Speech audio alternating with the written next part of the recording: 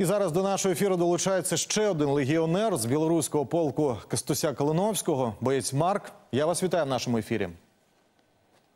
Вітаю, слава Україні і живі Білорусь. Героям слава! Хай живе Білорусь. 500 днів тому життя кожного українця змінилося, але війна в Україні, а не в Білорусі. Скажіть, будь ласка, чому ви обрали саме такий шлях, яким зараз йдете? А, Причина в том, что я понимаю, что белорусы и украинцы а, это большая европейская семья, и нам совершенно не по пути с а, Россией и россиянами, потому что они не несут ничего хорошего, положительного.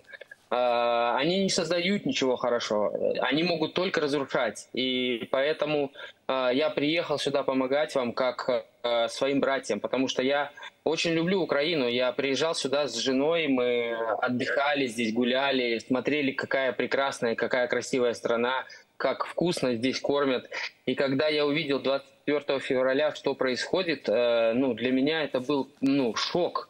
Я три дня не спал, я смотрел только за новостями, и уже в тот момент у меня уже было решение о том, что я приеду сюда и буду помогать. А, На тот момент я еще не знал про полк, и очень важно, ну, я, я, мне без разницы было, я мог бы там стоять на блокпосту или помогать эм, как водитель или что-то еще. Я очень хотел помогать, и мне не важно было, что делать. Но когда я узнал о создании полка, я сразу же записался и приехал сюда. Тобто саме 24 лютого 2022 лютого стало для вас таким переламним моментом. Да, для меня тоже началась война.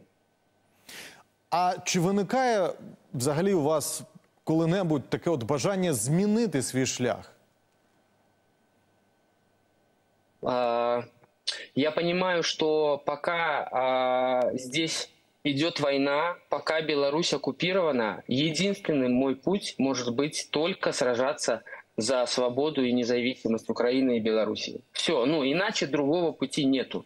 Я не хочу, а, чтобы в моей стране а, правили эти ну, каты, потому что ну, так- тогда я получаюсь без страны. А это мое, это моя страна, моя земля. И я буду воевать за нее до последнего. Розкажіть, будь ласка, про свій досвід е, служби у полку Калиновського. Які от завдання м, вам доводилося вирішувати на початку конфлікту силами білоруських добровольців? А, Первое время мы, мы находились э, под Николаевом, э, выполняли задачи вместе Александровка. А, Потом у нас э, были такие места, как штурм Лозового, которое потом вторично, уже, наверное, месяцев через шесть перешло уже, от- было отбито. Потом мы работали на Запорожье, и последние, наверное, месяцев э, семь э, мы работаем э, в Бахмуте и под Бахмутом. А чи має взагалі от значення національність для Збройних сил України? На жаль, да. Потому что э, даже имея желание обучаться, имея какие-то э, способности, э, здесь ты не можешь расти в воинском звании. И э, ну, это все может расти, но только внутри нашего коллектива. Мы очень много учимся, мно- очень много изучаем. Э, Наш э, батальон полностью работает по классификации НАТО.